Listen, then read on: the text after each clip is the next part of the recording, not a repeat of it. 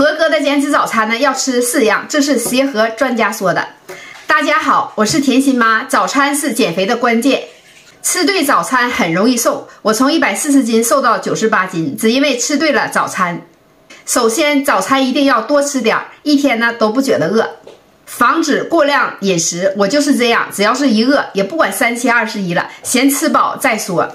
有没有跟我一样的？所以减肥呢，不要让自己处在饥饿的状态，很容易崩的。早餐和午餐一定要让自己吃的满足。这期视频呢是专门做给我减肥三群的一位粉丝朋友的，我给大家看看他的留言。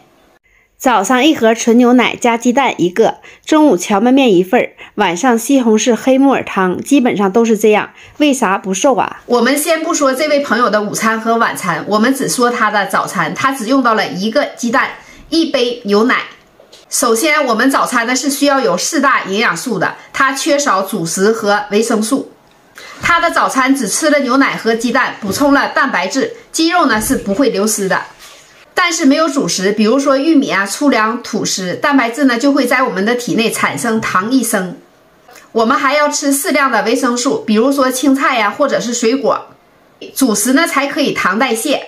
维生素有了，我们还要吃脂肪。如果没有脂肪，维生素在我们体内很难让我们吸收利用。这样的减脂早餐才是合格的，它们环环相扣。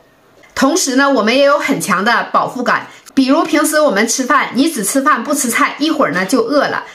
又吃菜又吃饭，才让我们有很强的饱腹感，人呢也处在很精神的状态。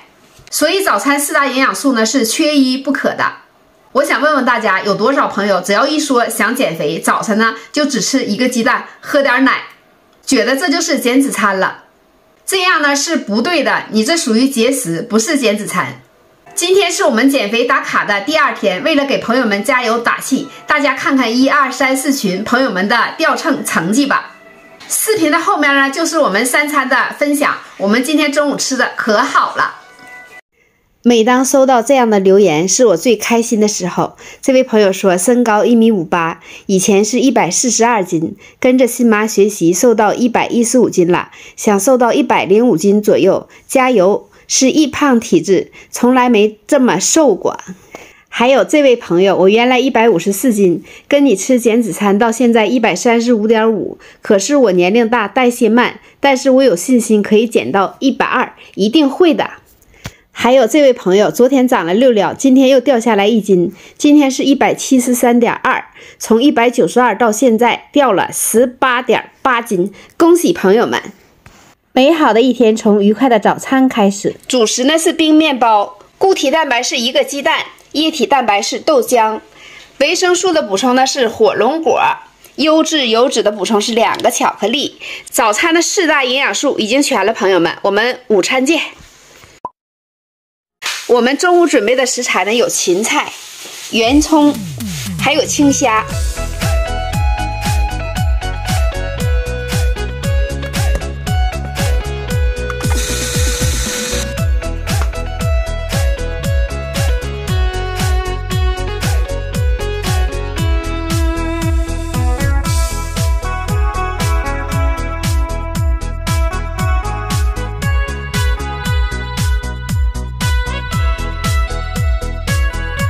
幸福的减脂午餐就好了，主食是半根玉米、虾仁炒芹菜，还有圆葱，太好吃了！朋友们一定要这么尝试一下。我们晚上见。晚餐吃个鸡肉卷、银耳，明天见，朋友们。